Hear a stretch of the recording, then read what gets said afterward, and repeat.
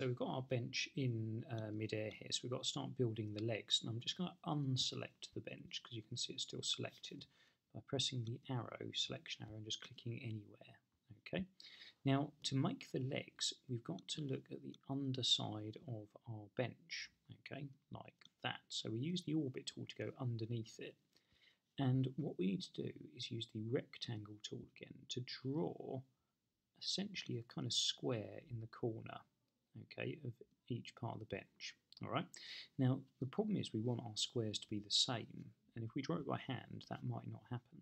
So we can use copy and paste. So we go on the selection tool, click on the square we've just selected, and use Control and C or Command C if you're on a Mac to copy, and then Control and V or Command V if you're on a Mac to paste. You can see that's pasted it onto our cursor. We've got to be quite accurate here to position it in the right place, which is right in the corner of the bench there.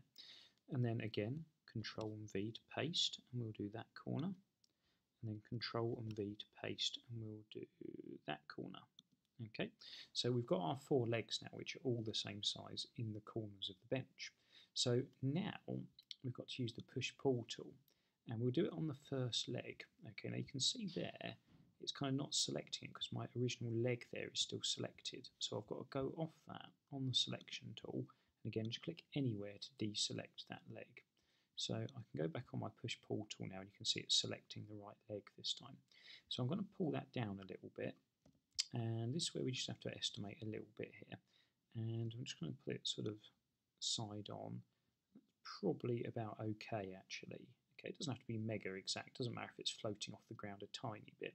But what is important is that all the other legs are the same height. Okay, so how do we do this? Well, we can use the pencil tool here. And what we can do is click on that and we can find the corner of our leg, okay, which is just here you can see it's just gone green. Can you see the little um, dot on the pencil has just gone green? It says endpoint. You've got to be really accurate here that you get the right corner because the, the distance between the two you can see there is not very big. So I'm going to click and drag across and you can see the line is green. And that means, it says on green axis, that means it's exactly level with the green line behind it, which is what we want. If it's another colour, if it's like black, then you probably would just want to recheck it. So turn the pencil tool off by pressing escape. And now we can pull our next leg down so it is level with this line. Okay, so oops, there we go, push pull tool and drag it downwards and about there. Okay, so you can see that edge is level with the line. We can orbit just to double check. Perfect, good. So now we do the same, but this side. Okay, so we get the pencil tool, we find the corner of that leg and we draw across and you can see this time the line is red and it's red because it's the same as that red line there. So that's good. If it was black then we're doing it wrong. So I'm going to draw it out there, lovely, and then escape to turn it off and then orbit tool, pull it down with the push pull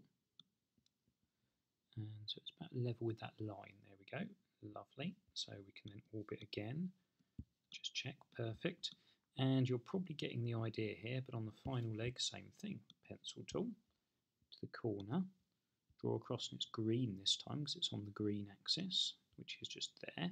Okay, and then escape and orbit and then pull the leg down so it matches the black line just there. Okay, so what we've got is all our legs should be the same size. And all we've got to do now is just get rid of these lines. So we can just select them and hit delete and those will disappear. Okay, so I'll leave you to do that.